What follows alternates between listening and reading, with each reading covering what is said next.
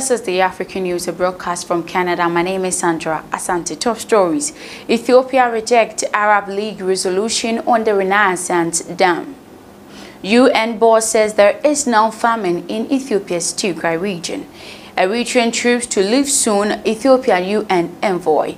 Sudan leader warns of civil war and defense reforms. The details of these stories coming up after the break. Stay tuned.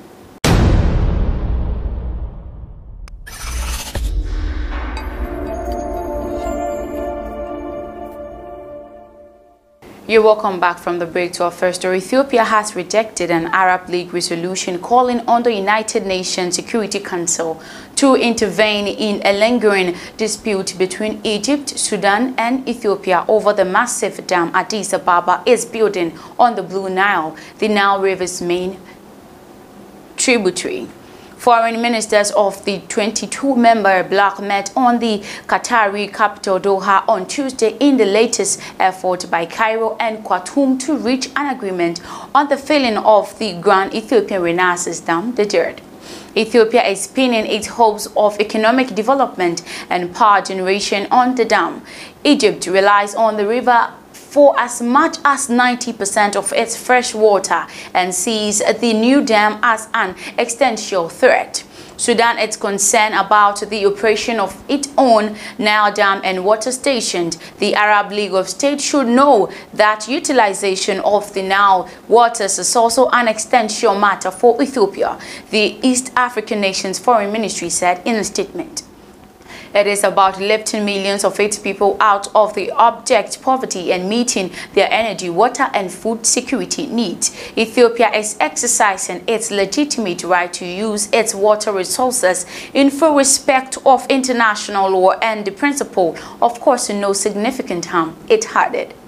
We are still in Ethiopia's Tigray region and the UN humanitarian chief says the situation in the Ethiopian region of Tigray is worse than previously thought. Mark Lowcock was speaking to a closed session of the Security Council on Tuesday. The BBC has seen a leaked copy of its preparation remarks.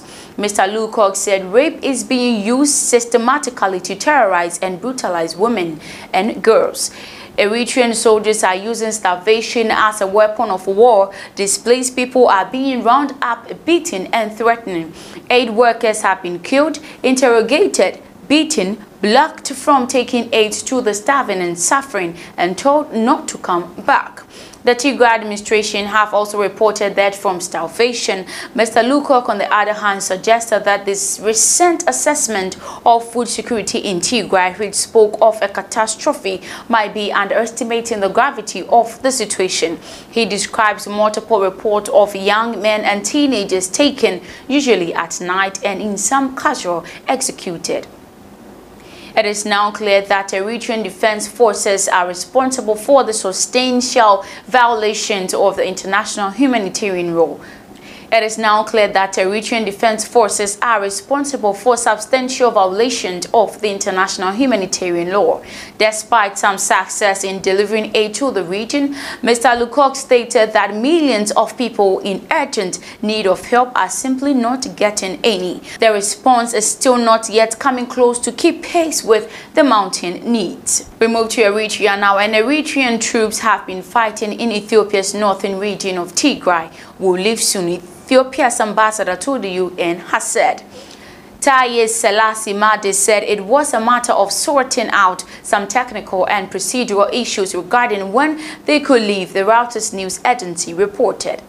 The ambassador said there was commitment from the Ethiopian government and the Eritrean are very clear as well. The AP news agency quoted him saying he spoke after the UN Security Council meeting in which outgoing UN humanitarian chief Mark Lowcock said no one should be surprised to see the run of the 1984 devastating famine if violence does not stop and the Eritrean troops do not withdraw. Last week, the UN aid chief said there was famine in northern Ethiopia after the release of a UN-backed analysis of the situation.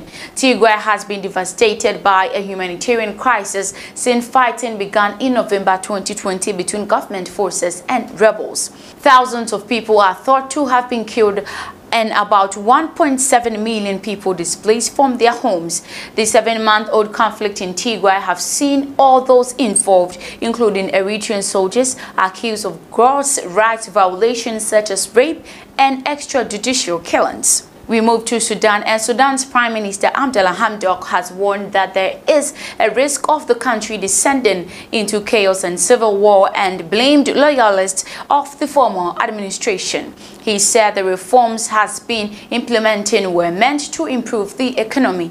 The latest removal of subsidies on fuel sparkled protects in the country. The deterioration of the security situation is mainly linked to the fragmentation between the component of the revolution, which left a vacuum exploitation by its enemies and element of the former regime. Mr. Hamdok was quoted by the Reuters news agency as saying, Sudan has been praised for economic reform since the ousting of the former President Omar al-Bashir in 2019. There has, however, been food shortages linked to prolonged conflict and natural disaster like drought and famine in Sudan.